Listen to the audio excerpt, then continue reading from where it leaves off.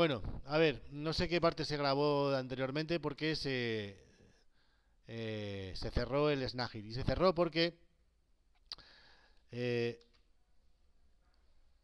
al, leer, al leer la línea del fichero se creaba el array list y tal, pero esta línea no se volvía a leer. Por lo tanto, como no se volvía a leer, seguía una y otra vez y otra vez y otra vez aquí dando vueltas, ¿vale? Todo estaba dando vueltas infinitas solo con la primera línea. Si hubiéramos si hubiéramos podido mirar el, contenido de este array list, habríamos visto el, mismo objeto libro, no sé, mil veces, ¿vale? O diez mil veces, lo que le hubiera dado tiempo, ¿vale? Entonces, lo que tenemos que hacer es volver a leer la línea, ¿vale? Para leer la siguiente. Y que en algún momento lleguemos a la línea última, ¿vale? Antes no estábamos llegando. Otra cosa que no sé si se grabó es que, bueno, eh, una vez que teníamos relleno todas las líneas, nos íbamos a insertar en BD. Insertar en BD lo que hacía era recorrer todo el array list y llamaba al método insertar libro que ya conocíamos, que ya habíamos hecho antes para cuando un usuario inserta un libro a mano. O sea, estábamos aquí reutilizando el código.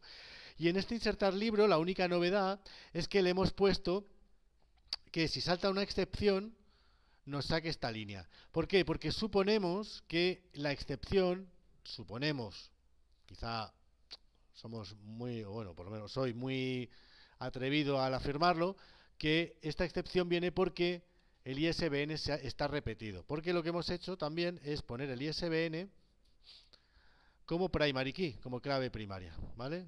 Ahora en nuestra estructura, nuestro ISBN es, eh, es, es, clave primaria. ¿Veis que está clave primaria?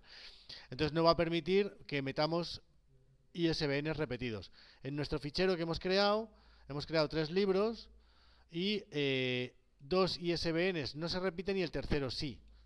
Entonces lo que decía es que este, esto de el ISBN está repetido solo se va a ver en consola, solo lo va a ver el administrador del sistema, ¿vale? Pero bueno, que se podría sacar en la página, ¿vale?